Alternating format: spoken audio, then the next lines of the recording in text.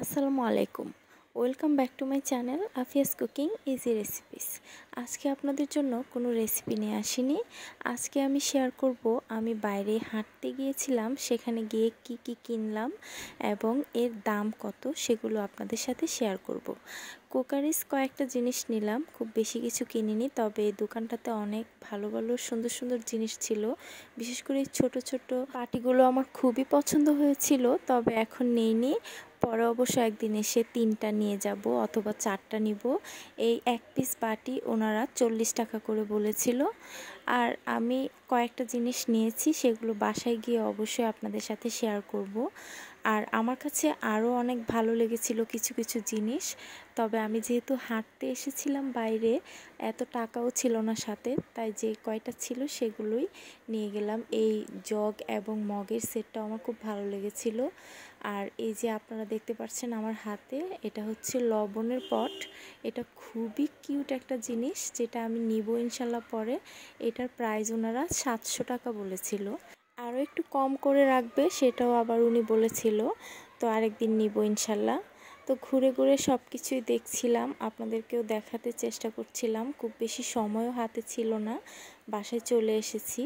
আর এখন আমি এইগুলো খুলে আপনাদের সাথে শেয়ার করব।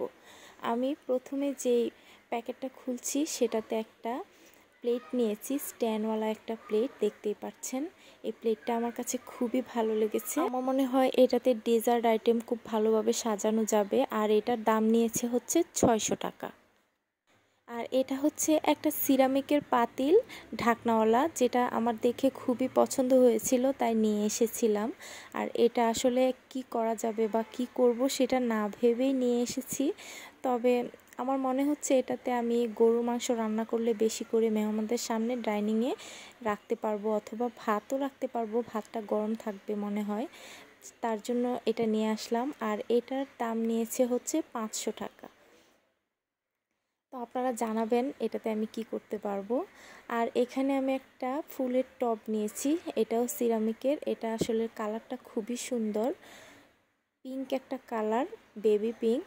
এটার প্রাইস নিয়েছে হচ্ছে চারশো টাকা। বিকালবেলা সময় পেলেই আমি হাঁটতে বের হই, তো পরদিন আমি আবারও হাঁটতে বের হয়েছিলাম। আর রাস্তার পাশে প্রতিদিনই একটা ভ্যান গাড়িওয়ালা বসে সিরামিকের কিছু জিনিস নিয়ে। ওই দিন আমি আবার ওই ভ্যানের কাছে গিয়ে দেখলাম যে টুকিটাকি জিনিসপত্র মোটামুটি ভালোই আছে। আমি এখানে, ওখান থেকে আবার কিছু জিনিস নিয়ে নিলাম। এখান থেকে আমি বাটিটা নিলাম। এটার দাম নিয়েছে দুইশো টাকা। বাটিটা অনেক ভারী, শাইন পুকুরের। আর বড় সাইজের এরকম কিনতে চেয়েছিলাম, সেগুলো নাই। তো এই ছোটো ছোটো চারটা নিয়েছি, এগুলো একশো টাকা করে উনি বলল। চারটা চারশো টাকা উনি বলেছিল, কিন্তু আমি পঞ্চাশ টাকা কম দিলাম মানে আমি চারটা সাড়ে তিনশো টাকা দিয়ে নিলাম। বাটিগুলো অনেক ভারী, এগুলো শাইন পুকুরের, আর আমার কাছে ভালোই লেগেছিল। আজকের ভিডিও ভালো লাগলে অবশ্যই ভিডিওতে একটি লাইক করে দিবেন।